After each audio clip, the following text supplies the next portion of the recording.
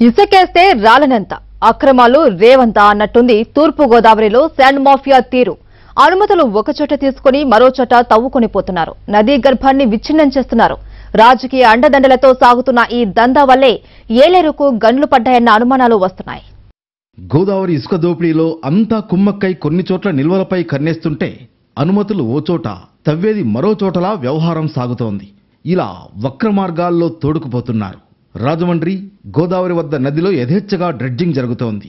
దీంతో పాటు రాజమండ్రి పరిధిలో గాయత్రి కోటిలింగాలు కాతేరు వద్ద తొమ్మిది ఇసుక ర్యాంపులు ఉన్నాయి. పడవలపై వెళ్ళి ఇసుక సేకరించాల్సి ఉన్న రాజకీయ దన్నుతో కొందరు డ్రెడ్జింగ్కు తెగించారు. యంత్రాలతో ఇసుక తవ్వకాల వల్ల గామన్ వంతెనకు ముప్పు ఉందనే ఆందోళన వ్యక్తమవుతున్నా లెక్క చేయడం లేదు. ఒక ట్రిప్పునకు ఎనిమిది లారీల ఇసుక సేకరించే వీలుంది. డ్రెడ్జింగ్ ద్వారా లారీ లోడుకు వెయ్యి నుంచి పదిహేను వందల రూపాయలు మిగులుతోంది. నిత్యం ఈ రేవుల నుంచి ఏడు వందల ట్రిప్పులు వెళుతున్నాయి. ముమ్మిడివరం ఐపోలవరం మండలాల్లో అక్రమ రవాణా దర్జాగా సాగుతోంది. గేదెల్లంకలో అనధికార ఇసుక ర్యాంపు నుంచి రాత్రుళ్ళు తరలిస్తున్నారు.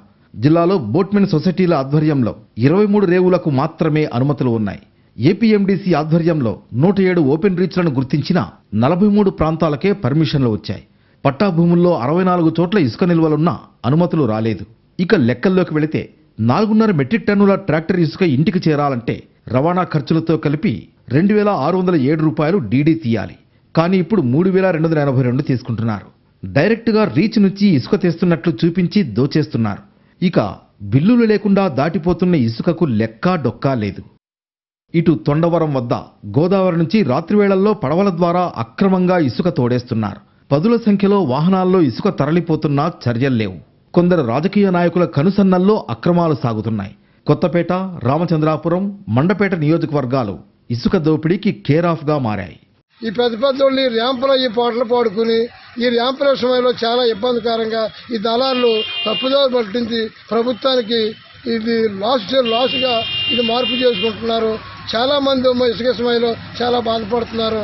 దీని ప్రభుత్వం వారు చాలా అడికట్టి దీన్ని జాగ్రత్తగా ఉండి దీన్ని సక్రమంగా కలిసి ఈ నిరుపేదలకు ఇసుక దీన్ని అందిస్తారని చెప్పేసి ఈ ప్రభుత్వం వారిని కోరుతూ ఈ దళారులకు అంత అడిగట్టుకుంటూ ఈ దళారులు ఏ రకంగా అయితే ఇసుక తప్పుదారి మళ్ళిస్తున్నారో దీన్ని అడిగడతారని చెప్పేసి అని ఈ ప్రభుత్వం వారిని కోరుచున్నాం ఇదంతా ఒకెత్తైతే మరోవైపు అక్రమార్కులు ఏలేరు రిజర్వాయర్ గట్టుకు తూట్లు పొడిచారు.